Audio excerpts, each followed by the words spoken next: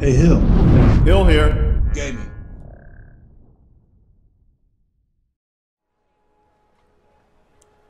And welcome back to Skyrim Special Edition. This is Hill, and we are out of character today uh, to sadly announce that this is going to be the final episode of the Zathras Talorius Ghorr story. Uh, we've reached 60 episodes, Trouble? and uh, yes, we have run into trouble. And I, I think we've done just about most of what we can with this character.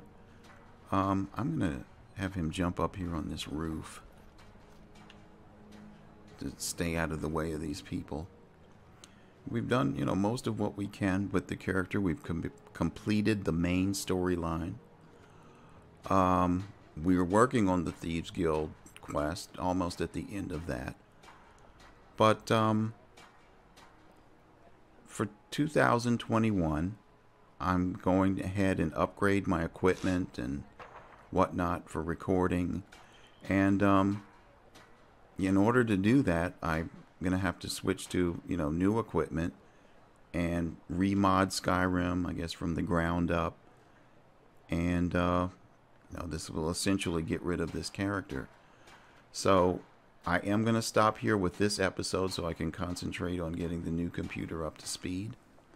And, uh, you know, we may do newer games in addition to these classic games. But it's been a lot of fun. And I thought I would end this episode with, among other things, um, a build guide of how this character was created. And I guess we will first start off with the skills. I mean, we've gotten him to level 53. Um, you know, he did not use magic, although his magic has been boosted, I think probably with, um, yeah, I don't know what, what it was that, that gave him this magic. I never put any points in Magicka. Uh, basically, it was health and stamina. So, as you can see, under the destruction tree, um, we've put no points in that. Uh, I think we did put no, nothing in restoration. Okay. Uh, alteration. We put no points. Uh, enchanting, we did. Uh, tried to fill out the tree, and I also have a um, mod that increases these these base. I don't stats enchanting mastery, um, giving you five of five. So most of these you know, had five of five. But here we anyway, we put points into enchanting mastery, the gem dust, regalia, attunement, and we made it to the twin enchantments to put two enchantments on an item, but I just recently unlocked that and never got the chance to enchant anything with with two items. So we do have the smithing, uh, smithing mastery. Uh, the mod that I use doesn't give you, you know, five out of five smithing mastery perks, but we did go ahead and we filled out the Merrick smithing, expert smithing, and the exotic smithing. Uh, the other thing with this particular character, because he was not able to use weapons due to the curse that was placed on him by witches, we uh, gave him long range ability by unlocking the dwarven autocannon. So we, uh, you know, put points in all of the uh, the perks for the autocannon. And we also unlocked Arcane Blacksmith. So he was a light armored character. We put no points in heavy armor. He was able to use a shield, and I put as many points as I could into block. And you can see we have four out of five in block mastery. Uh, we got the time block completed. Poke the dragon. Apocalypse proof. That's as far up this tree as we got. Uh, we also have Block Runner, moving at full speed. Dominion, Deflect Arrows, Power Bash, and Skull Rattler. Guess I should do this in more of an order so you can keep up, but you know, basically we filled out all the trees, only but to a certain point. Okay, we had no points in two-handed. In one-handed, because later there was a loophole in the uh, the weapons thing by using conjured weapons like the bound sword, bound dagger, uh, the bound bow. Those aren't counted as weapons technically, so we did uh, unlock or discover the spell for the, the bound sword, so we did put points in one-handed. So we got here on the left the Furious Strength. That's as far as we got there. Uh, the next uh, tree we got Disciplined Fighter. That's as far as we got there. And then we used the Sword Tree here. And uh, we got the Clash of Champions. We only got two of three. Crosscut, two of two. Falling Sword. That's as far up as we got the one-handed tree, and that those were the only trees that we uh, put points in. Archery, we never got around to putting points in. I probably would because we didn't um, get the bound bow until much later in the playthrough. So I never got a chance to put any points in there, but I would have, you know, put points um, if we were going to play this longer. So light armor is is the key to this build because he pretty much is an unarmed uh, character. So in light armor, we have the light armor mastery. Here's that uh, mod again that gives you uh, five of five. So we filled that out. We got the annoying mosquitoes. Iron Fist. This is where it boosted his um, unarmed uh, damage, and he really became overpowered. I mean, it, this. I didn't need weapons. I mean, for long range, yes. For dragons, uh, we did, but he was still able to kill dragons with his his fists. It's incredible. But yeah, this is Ordinator, and this is the light armor tree, the Iron Fist perks, which just gives you incredible amount of unarmed damage. So we had that. We had the sweeping wind. Um, it gives you even more unarmed damage. And uh, again, rushing tide, unarmed attacks grant 10% increased stamina generation. Breaking waves, unarmed attack have a 15% chance of a critical strike. I mean, these things just made the character incredibly overpowered when it came to unarmed. And uh, for here's the the light armor fit to increase the uh, the rating of his his armor. And I'm sorry, let's keep over here to the left. We have the unhindered light armor weighs nothing. Into the maelstrom, 10% less attack damage. And that's the end of that tree. So here we have initiative, two of two. Lightning strike over here. Your critical strikes deal 75% more critical damage. Again, these these perks just make an unarmed character incredibly powerful. So fight or flight, survival instinct. So I guess we filled out that tree completely. And then here we had Windrunner, moving faster while wearing light armor, and War Dancer. And you can strike more effectively, 20% more of, or more attack damage. So just way too much power in this tree. So sneak, we did get some points in here. Sneak Mastery. Infiltrator. And then we had Sneak Attack. And this um, also applies to the unarmed character as well. Sneak Attack with one-handed weapons and fists deal 100% more damage. And then Assassin's Blade. Sneak attacks with daggers and fists deal 1% more damage per level of sneak. So, way overpowered, but you know, this this is Ordinator for you. And lock picking, uh, we got the Mastery 3 of 5. That's as far as we got with this. Nothing in pickpocket. Speech, uh, 3 of 5 in speech. Alchemy. We got 2 of 5 in making the potions up to 40% stronger. And the Experimenter to reveal all the effects of any plants and things that he ate. So that's all we did with alchemy.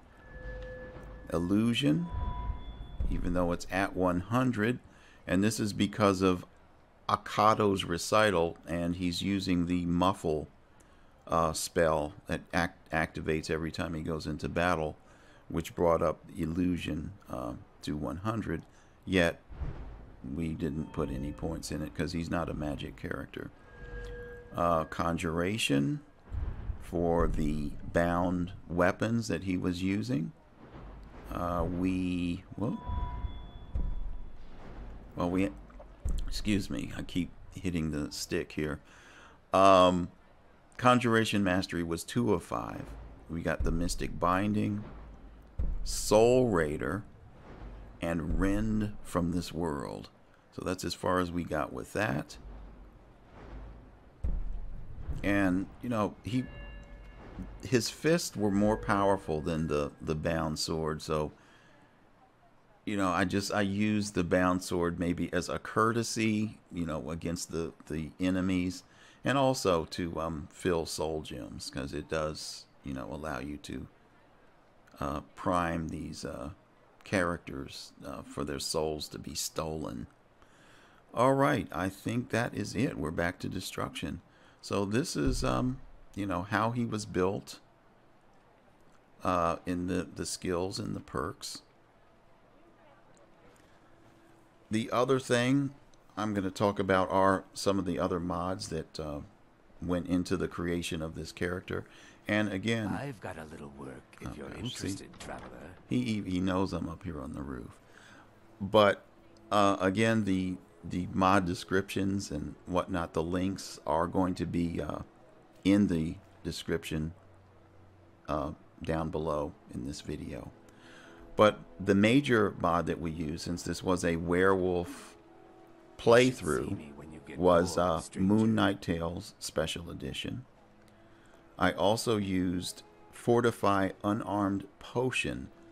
Um, he is carrying some of those, and you know this enables you to make a fortified unarmed potion out of tundra cotton and bear claws but I never really needed it. I mean, I, I envisioned when I was making this character that he was going to have to be a werewolf in order to survive and fight the enemies and stuff because he couldn't use weapons. And I never imagined that his unarmed attack damage, being a, a, a non Khajiit character, that, you know, it would be so substantial. But it was. It's like, it was incredibly powerful. So the werewolf was still, the werewolf form was still more powerful than his human form, if you consider an orc a human.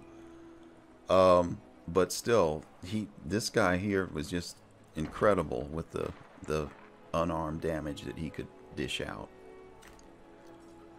Okay, so, and Ordinator was another huge part of uh, this character, as we just saw with the uh, the light armor tree. I also used extended character creation options And that allowed me to create a black orc so that he, uh, I, I think he, you know, looked like a good combination between Redguard and orc. People may differ, but uh, I think I did a pretty decent job with the tools.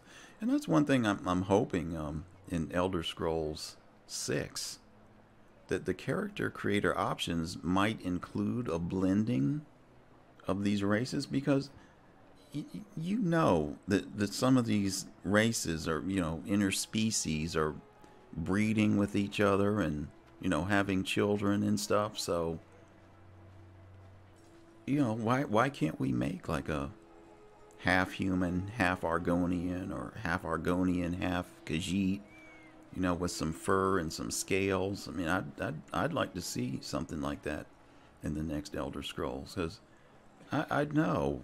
And, and just from the stories and stuff that you encounter as you're playing the game that different races you know they fall in love with each other and, and they have kids so we, we need to see the, the offspring of, of those unions.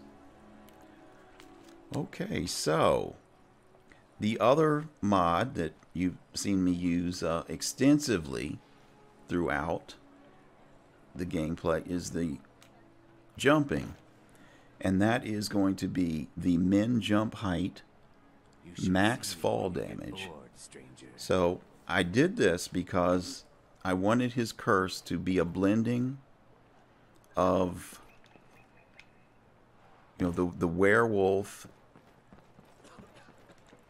and and him being in human form. So the the abilities of of the werewolf extended into his human form. So that's why his unarmed damage was so high and why he can jump so high because, you know, he's pretty much a werewolf even in orc form. So that's what helped, uh, you know, create that part of the character. And lastly, we have the Rings of Fortify unarmed. Now, I am using that. Let me see if I can show you.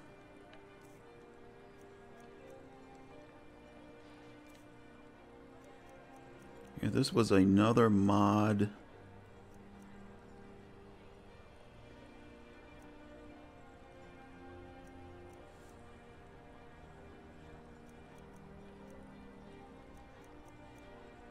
Hmm, okay, he's not even wearing it. But anyhow, this mod allows you to, um, you know, have rings that boost your unarmed damage.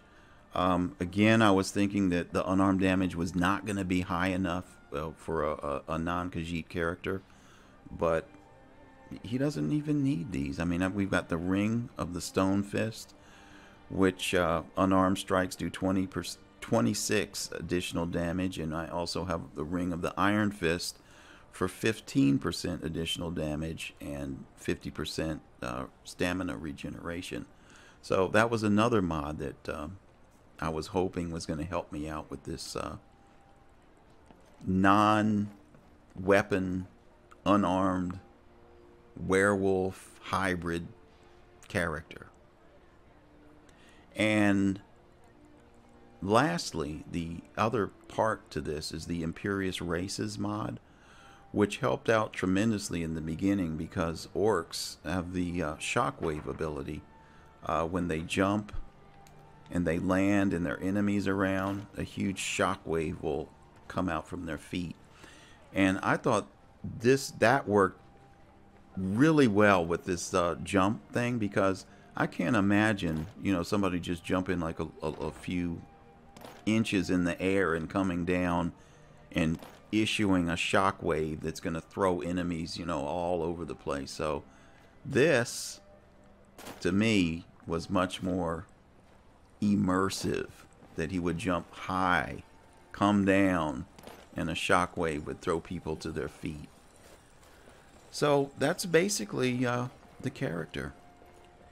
And uh, you know, if you have any questions or anything like that, feel free to leave them. Uh, you know, leave your comments. We will be moving on to another character if there's anything that you want to see me do uh, in Skyrim, any particular missions, type of character, anything like that, leave me comments. Alright, so I'm going to go ahead and finish out by doing a numbers job here for the Thieves Guild. Hopefully, we can. Uh, Welcome to Bits and Pieces. I'm sure you'll find what you need here. we can carry this out. I don't know where her uh, book is going to be. Looks like it's back here. Can I just go in here and do this?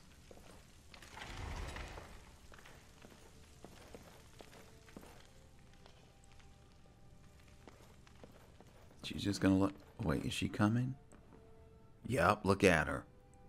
Oh, I can't do this, can I?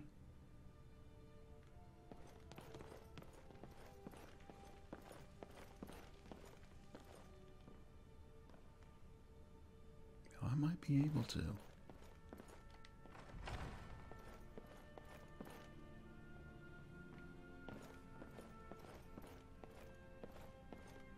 Oh.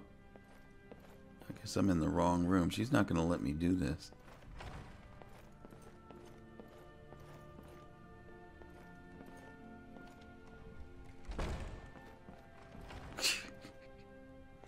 okay, well, we have to break in some other time and do it. Huh?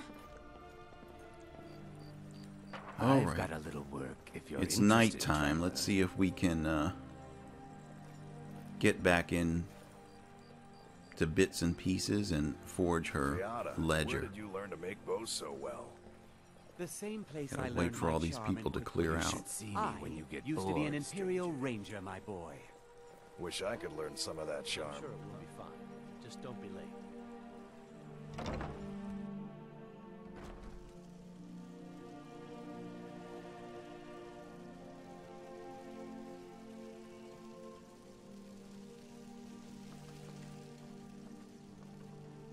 All right, looks like the doors are still open.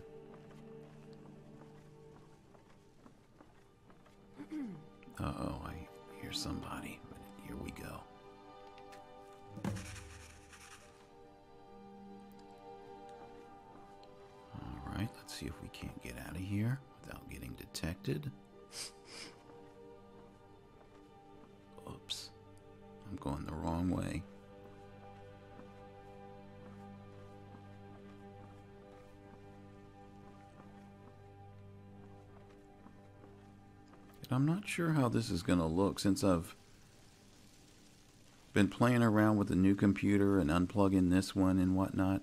The graphics look different on this one. I hope it's not too dark.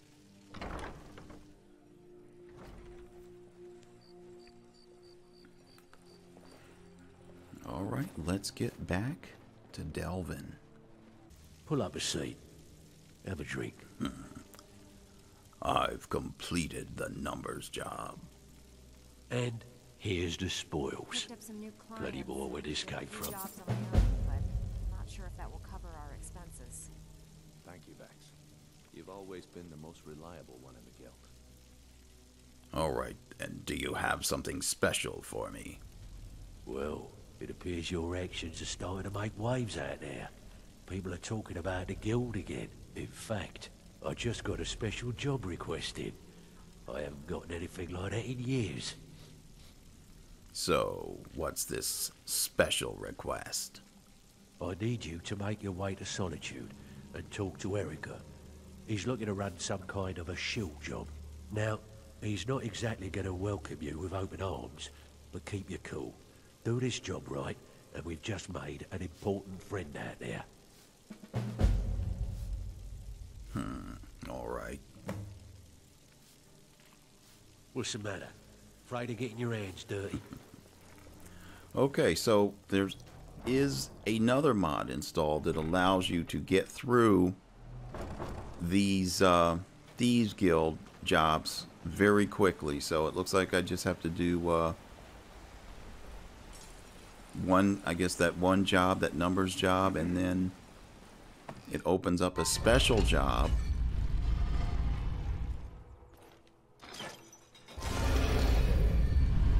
That will bring us to the completion of the Thieves Guild, Thieves Guild quest.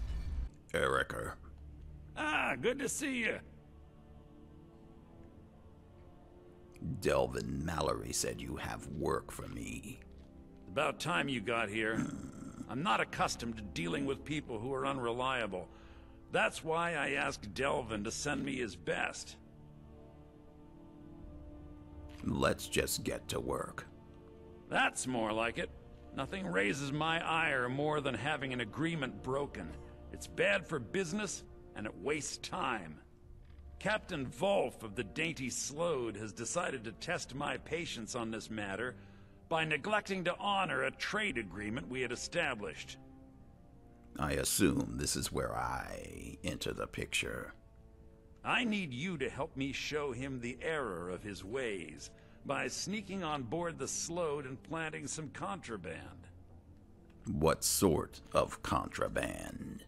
You'll need to get your hands on some Balmora Blue from Sabine Nytte down by the docks. She's the first mate on another ship, the Red Wave. Once you get your hands on it, I want you to plant it in Captain Volf's footlocker. I'll take care of the rest. Consider it done. Captain Volf is ashore right now, and I want the authorities waiting for him when he gets back. Now get going. I don't want to see your face until the job's done. What exactly is Balmora Blue? Not sure. I know that it hmm. starts with moon sugar, but all sorts of other ingredients are added to increase its potency. Used to be a lucrative underworld commodity when Balmora was still standing. Now the stuff is beyond valuable. It's also very illegal. Anyone caught with Balmora Blue looks forward to rotting in jail for a very long time. It was a pleasure. Hmm. I'm not sure I can say the same.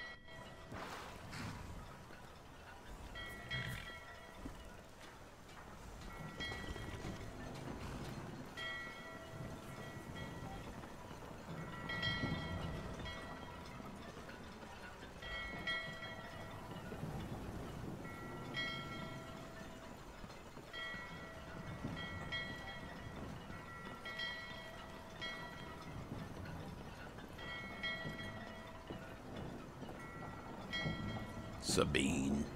You reek. A little friendly advice. Take a bath and get some new clothes. Hmm. I'm looking for some Balmora Blue. Well then, you're talking to the right person. I'm the only one left in Tamriel that can get my hands on it. It's damn near impossible to find anymore. You want to buy it off of me? Sure, I'll take it. Good. Here, take this key. The Balmora Blue is locked in a chest under the docks near the Red Wave. Hope you like getting wet.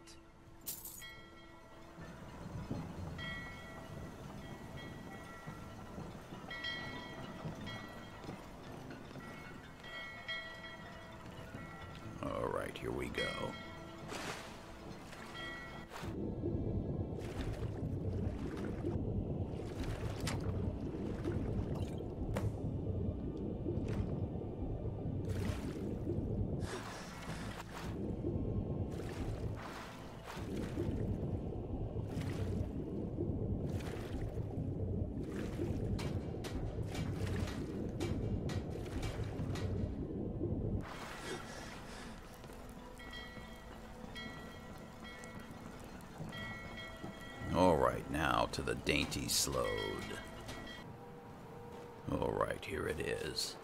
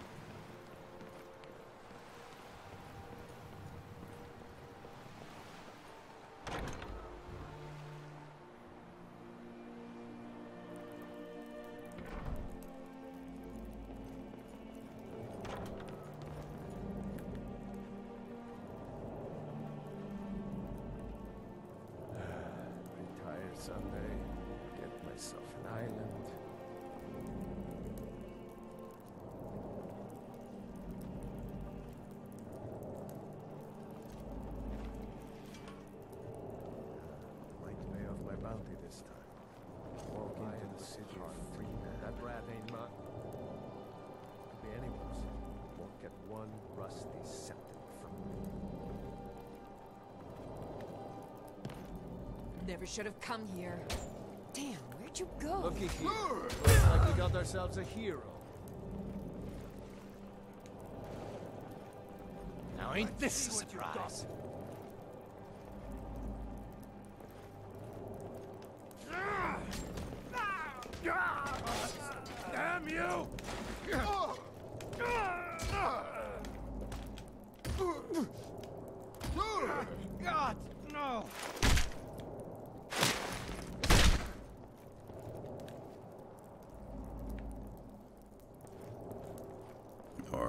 Was easy enough.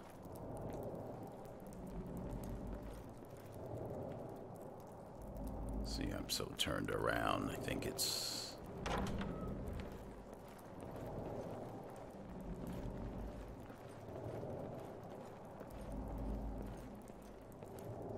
Yes, here it is.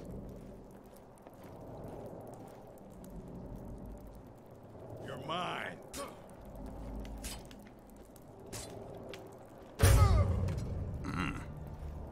Was too easy.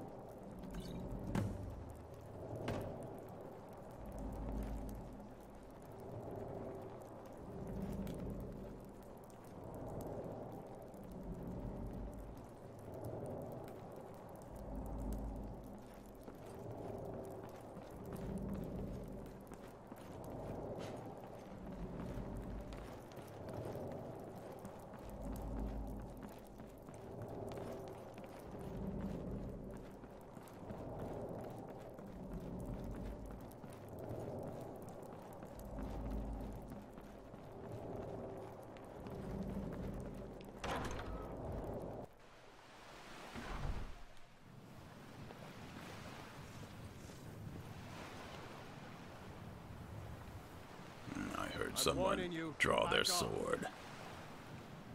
Ah, here he is. You picked a bad time to get lost, friend. Here's an example of. Oh, he's already dead just from a shockwave.